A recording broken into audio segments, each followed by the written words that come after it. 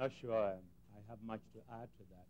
Uh, as you know, this was an issue that uh, was discussed in the Security Council, and the Atomic Agency, the head of the Atomic Agency, uh, ElBaradei at the time, indicated that the documentation was fraudulent, and I think the, the Council dropped it there, and we didn't take it any further. Do you feel that the American intelligence now should be re-examined on other issues?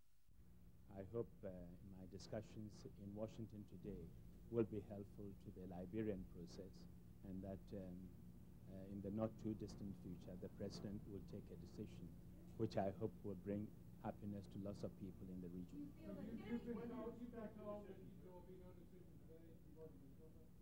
Well, uh, we haven't discussed when the decision would be, but uh, I know that the issue uh, is under consideration and I hope the decision will be coming shortly and I hope it will be positive. Mr. Secretary General, do you think it's time for the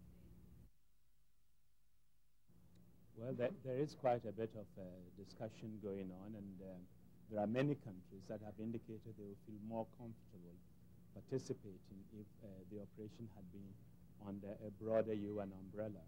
Uh, whether the member states will revisit this issue uh, with the U.S. is something that uh, only time will tell. Thank you very much.